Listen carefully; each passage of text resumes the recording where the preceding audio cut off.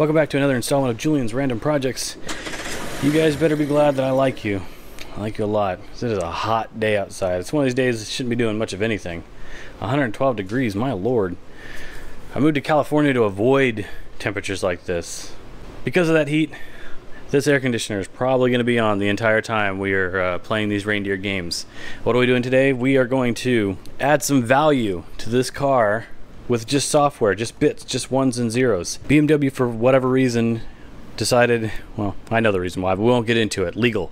Uh, tree hugging hippies, that kind of stuff. California had some regulations, and BMW complied with those regulations. And one of those things is reducing the size of the petrol tank or the gas tank in this thing. The rest of the world gets 2.4 gallons. California, 1.9. So there's half a gallon that's left on the floor somewhere. And people wondered, oh, maybe it's a different tank. Maybe there's some type of ballast being used inside the tank, like a brick. Who knows? Like I was saying, they're the exact same part number for the European ones and the American one. And so somebody determined that it was just a bit of software that was setting. So as the, I don't know why I'm pointing at this one. We're actually talking about this guy. I'm just trying to avoid the air conditioner here. Now this is where you fuel up with uh, old dinosaurs. When you fill this thing up to 2.4 gallons, which this thing will take. Now, a lot of you guys that are that have been using the i3 for a while, you say, no, that's that's impossible. Uh, every time I fill up, it, it clicks and, and cuts off right at 1.9. That it's not Sure. Sorry about the uh, little in interruption there. I had to get lunch, and also it's the next day because the uh, air conditioner unit itself decided to give up the ghost. Uh, got so hot. Actually got up to like 116, so I can't imagine that these caps were gonna be designed to live through 116 day, maybe hotter inside the little metal can that it's in. But uh, and we also had some power outages, but luckily the kitchen is still running off of my uh, poor man's power wall uh, which is just a bunch of Chevy Volt batteries down here. It used to be uh, lead acid, now Chevy Volt, um, and some Outback off-grid solutions.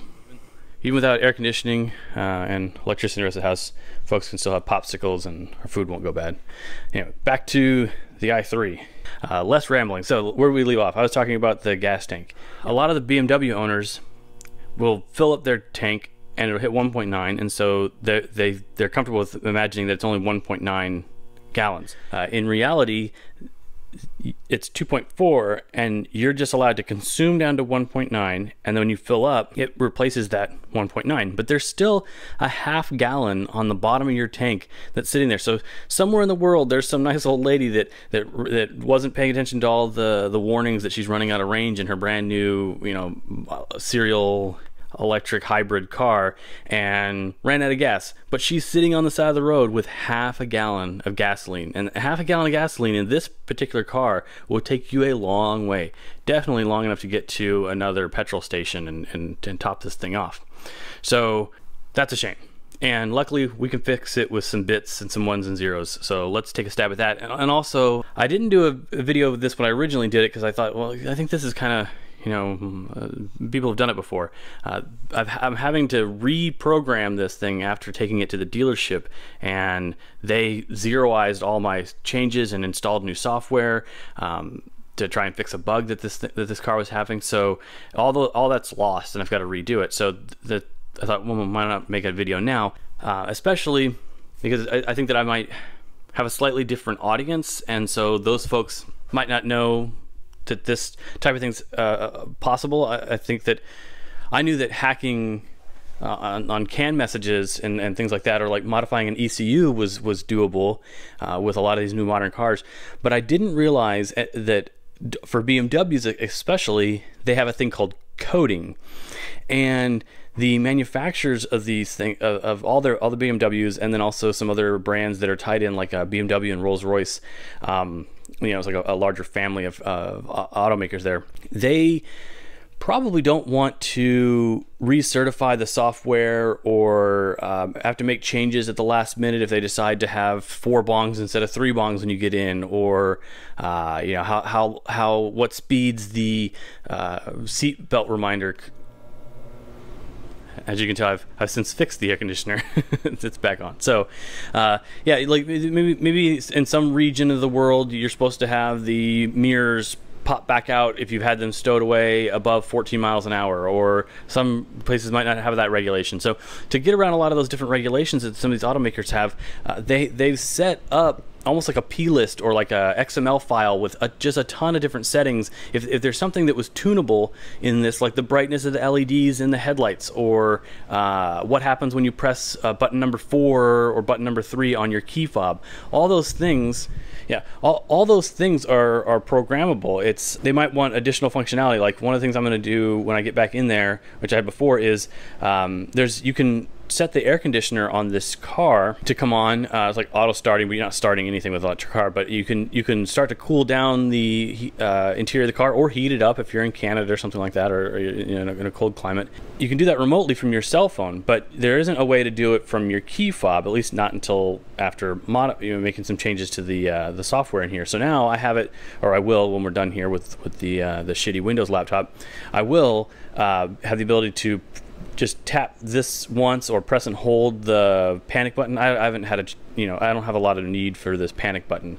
Uh, I don't intend on getting assaulted in a parking lot, but um, the ability to like walk away and to know I'm in a hot parking lot and that when I get back out from shopping or whatever, then I'm gonna want this car to be cooled off. The app sometimes it's got you know it's got to send it up to a server, and then server's got to send it down from space, and you know like things are happening. And but this one you can just press it and you'll hear it boom comes on, and then your AC is going. So big plus. So we're actually adding features, we're, we're, or we're adding value to a car uh, that came stock without some of these this this value. It's it's amazing. Uh, the other thing that's amazing, and the reason I, I, really felt like making this video is I don't think that the public is aware of how affordable this car is now. Uh, this particular one, this exact VIN number, which later I might have to like try and I'm about to blur out my VIN numbers. I'm pretty sure people can't get things from plates, but VIN numbers, eh.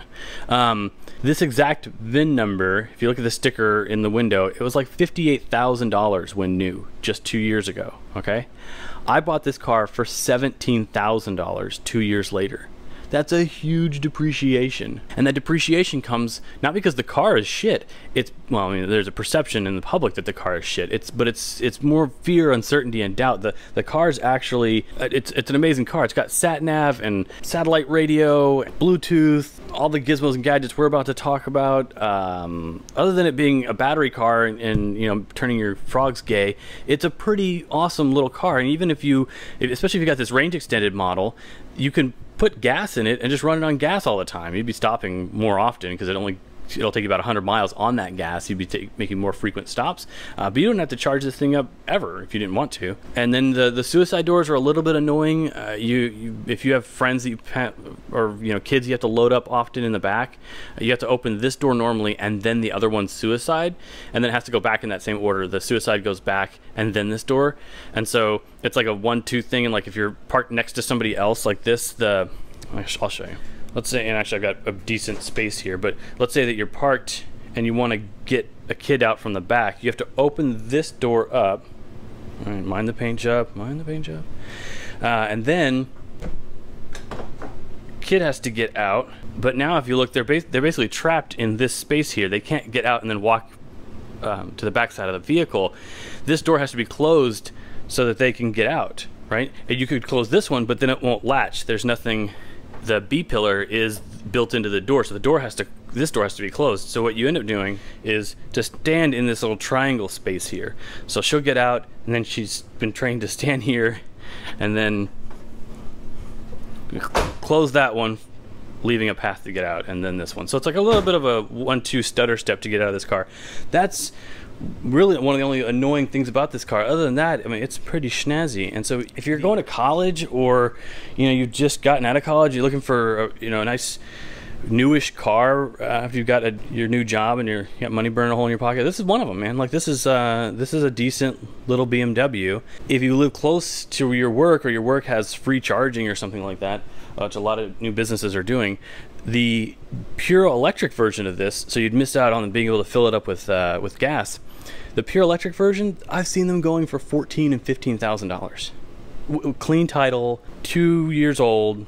It's it's phenomenal. I mean, I mean, it's, it's not phenomenal for the for the ass hat that paid sixty grand for this car, but sorry, that's that's depreciation for you, right? Like that's that's why I, I tend not to buy brand new cars because you just take such an ass kicking in the uh, in the depreciation. So Well, that's a lot of rambling for, for a video that's supposed to be about upgrading some software. Let's get into it.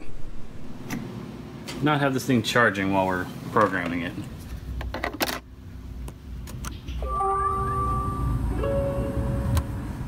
Turn the air conditioner off. Now I don't have air conditioning in the garage and for a moment I had the thought of rolling down the windows like I've done here. I did this so that in case something goes wrong or like a module gets reset and it locks all the doors or something, I can get back in if I need to, reach and get my keys. Um, but I thought I'll roll the windows down and turn on the air conditioner and voila, I'll have air conditioning in the garage. Genius. Right?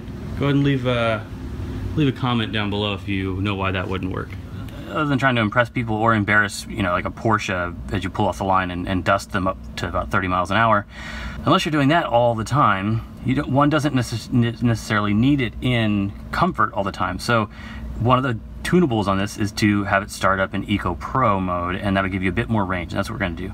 So the reason I'm recording the screen now is because I wanna capture I want to capture this gas range um, for, for running on the little generator in the back. So uh, it thinks we'd have 50 miles with the tank we have now.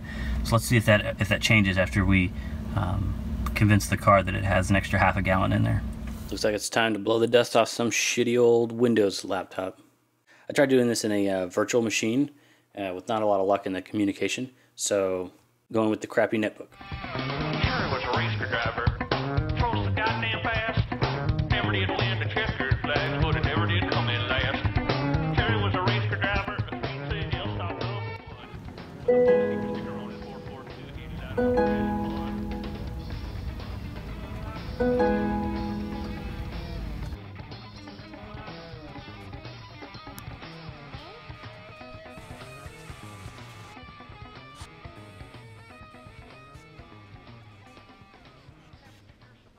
There we go. Already a 20, uh, 20 mile increase on the expected range for the gas engine. Just right there. Now I've got to get this whittled down to 75% so I can turn on the uh, range extender manually before this thing throws a code. There's modules that are waiting for that thing to, to kick on and if you don't run it soon, it'll throw up a, a check engine light. So let's try and get that cleared out. Okay, so now that we made some changes, uh, the best thing to do is to get back in uh, you, you, see some of them took effect, like the it, it, started up in Eco Pro as an example. Um, but I've, I've, heard reports of some of the different settings not taking until you completely power cycle or allow the, the, the car to sleep, which which I do by getting out, um, locking the car, and then letting it sit there for about 10 minutes. So that's what I'm going to do next.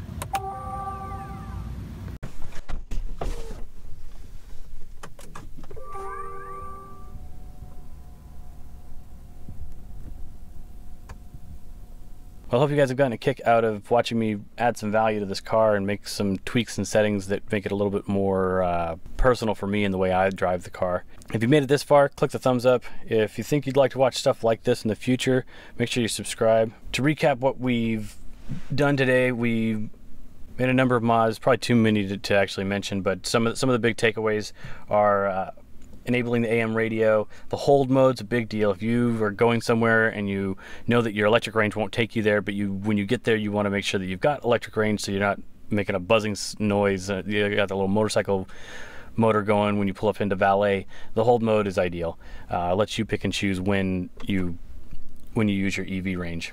Uh, as you can see, we've enabled the, some video playback on the screen where at the default it was it would just play the audio for this. Now it's doing the full video. And of course, you wouldn't watch this while you're driving around because you're not a moron. Uh, but if you've got kids and you're waiting in the parking lot at, at a, you know, the doctor's office or grocery store or something like that, and uh, the wife's just running to get something, great way to distract kids definitely a nice option to have. I went and disabled all the uh, startup legal notices about being distracted by said videos. Got rid of those. I got rid of the seatbelt chime. Uh, I'm not really sure what it is about the BMW. I think it has something to do with like I have this uh, impression that things need to boot up, and so immediately when I get in, I boot up, and then I reach over my shoulder and I buckle up. I don't know. It's just the it's just the habit I've gotten into. Now, if I did it the other way around, if I buckled and then pressed the start button, I wouldn't get this annoying bong bong bong uh, that's warning me about my seatbelt being uh, not connected. I'm like, I, I know, you've, you've, given me zero seconds to put my seatbelt on. Jeez, it, it, doesn't even do it when you. If it did it when I put it into drive and said, "Hey, dummy, um, you've you've not put on your seatbelt. Totally fine. I probably wouldn't be sitting in here hacking that thing and disabling it, but super annoying. Uh, I tried. You heard earlier the bong bong is actually from the Rolls Royce, a little bit more subtle. I like that one, um, but uh, today I just disabled it completely. I also disabled the the warning if the passenger doesn't buckle up. I'm often carrying heavy bags or uh, you know some equipment for work or something like that, and it trips this sensor and sits there and you know bitches at you that your passenger, who isn't actually a passenger, is not wearing their seatbelt. Uh, I also enabled the handles on the side over here to uh, turn on when you're in reverse. It's nice at night so that when you are looking through your side mirrors here, uh, the ground behind you is illuminated uh, by way of the uh, the welcome light on the handle. Nice. I'm not sure why that's not on there as a default. That's obviously something they thought about. Uh, I also enabled the rear view camera at all speeds. Oh, maybe the car needs to be on. Here we go. Uh, this ended up being really nice on a trip that I took, and I had the back back here completely filled up with junk all the way up to the tippy top, and so I had no rear view. Like if I looked here, I just saw junk in the back. Uh, but with this, it acted as like a little rear view mirror uh, and it's actually it is mirrored. If, if you go out there, it acts like this. It doesn't act like a video feed. They flipped it, which is nice. Um, and so I was able to see if people were coming up on me quickly. You know, just normal situational awareness. So that was really nice. Uh, other things that I didn't do, but you could, are switching the voice to British for the sat nav. Oh, one of the other things I did was um, if you go back to media here, you're playing your stuff. Uh, in this particular car, when you when you turn everything off and you go to leave, if your music's playing, it'll continue to play, right? You got your podcast going and that kind of jazz. And even if you put on the parking brake and I get out of the car, it'll stay on. The, meaning the podcast, you'll hear the podcast playing as you're walking away, and then you'll hear it lose Bluetooth connectivity and it'll stop playing, but the radio's still on, still trying to do its thing.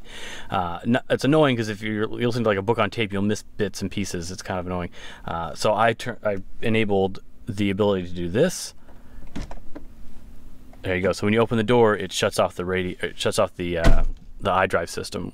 Again, not sure why that wasn't on there by default. Uh, other things that I didn't enable, uh, there's a thing called the developer menu. I'm not really sure. I think that's actually buried away uh, somewhere by using this button you can get into a developer menu uh, so that's on you know i haven't used that yet you can also another thing that i didn't do because i, I kind of like where it is now it doesn't bother me but uh, let, let's say that for whatever reason you want to enable the default of where the ice motor kicks in for the range extender, that little caret there, you can move that caret further down this way. Uh, I'm not sure where the limit is, but you can say, oh, well, you know, start start burning gas when I get to 20%. Right now it's set at 6% as a default.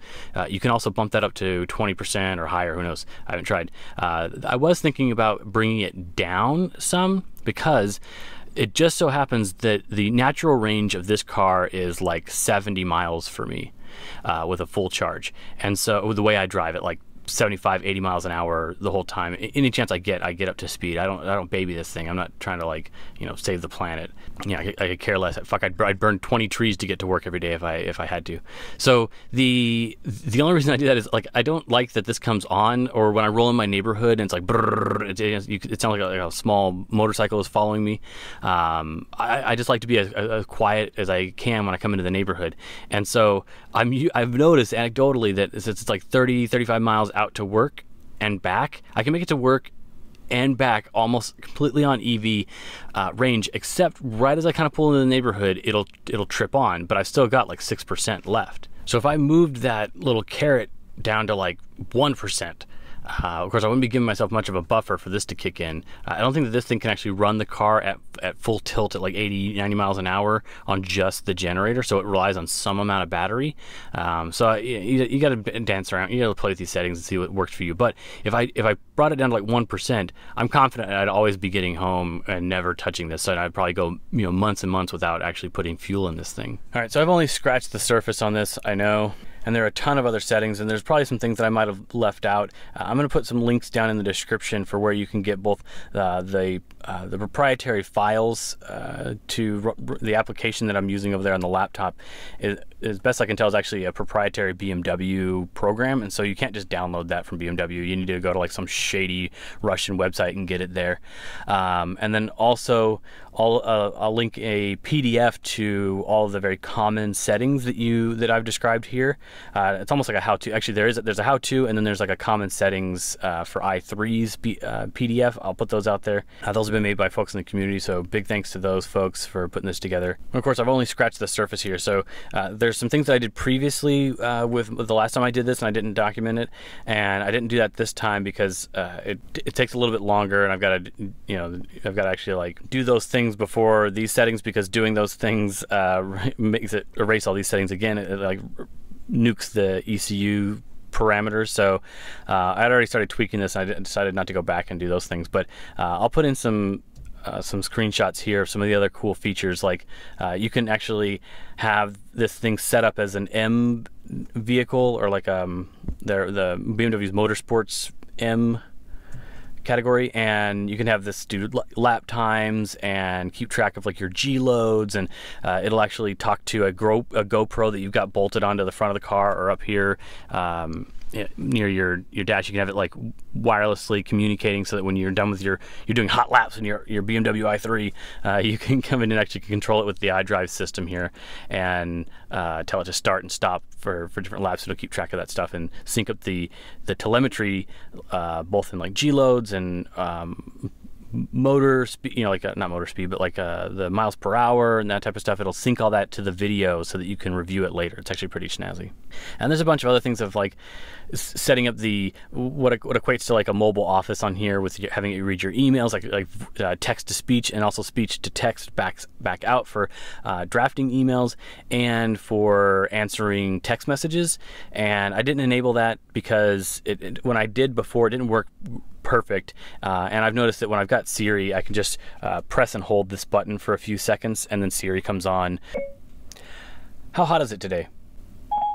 It's currently partly cloudy and 82 degrees. Expect cloudy skies starting tonight. Temperatures are heading down from 82 this afternoon to 71 tonight like so. And so once you have Siri up and running, uh, she, you know she can read me text messages and you know read back my calendar and you know email. You know, she can do a lot of stuff. So uh, I haven't really bothered to, to do the specific BMW stuff. So I've had a blast showing you guys these things. If you liked it, again, thumbs up, subscribe, and let me know in the comments. Thanks. I'm hanging in, there ain't no doubt, and I'm hanging tough. Over and out, over and out. Over